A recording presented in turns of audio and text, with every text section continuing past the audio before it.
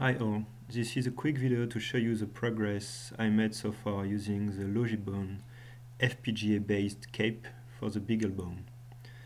So today I'm going to show you an application running on the Logibone plus BeagleBone.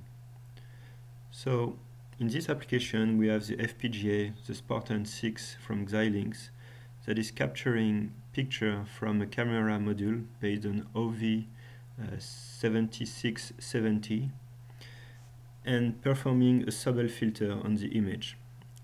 This image is then stored into a FIFO that is accessed by the BeagleBone through the GPMC interface.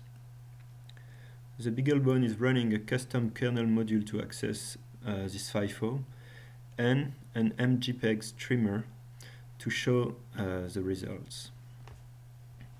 So for this application, Uh, so now let's just log into the BeagleBone.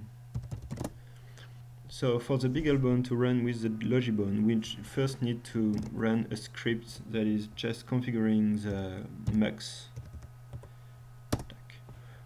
Once the mux is configured, I can then load the, uh, the FPGA with uh, the bit file.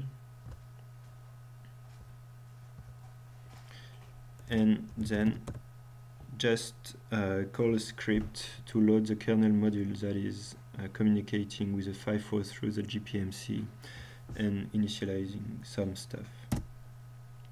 Okay. So on the BeagleBone side, I developed a custom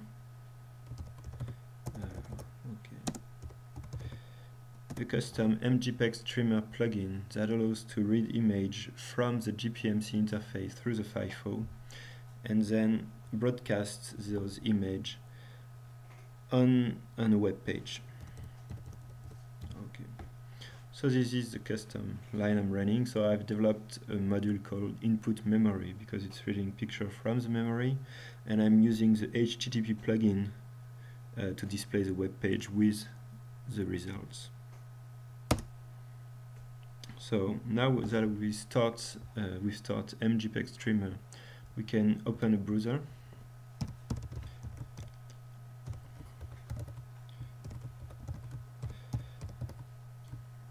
and load oops, the MJPEG streamer uh, web page that is hosted on the BeagleBone. If I access the stream, I get the output image of the sensor with the Sobel filter applied. So everything is running in hardware, just MJPEG streamer is running on the BeagleBone. Christmas tree. The BeagleBone itself. And the Logibone. The image is a bit shaky right now, but I believe that I'm having synchronization problem due to the long wire I'm using to connect to the camera. Or maybe uh, the, the kernel module may cause some, I don't know, some slowdown on image capture. So thanks for watching.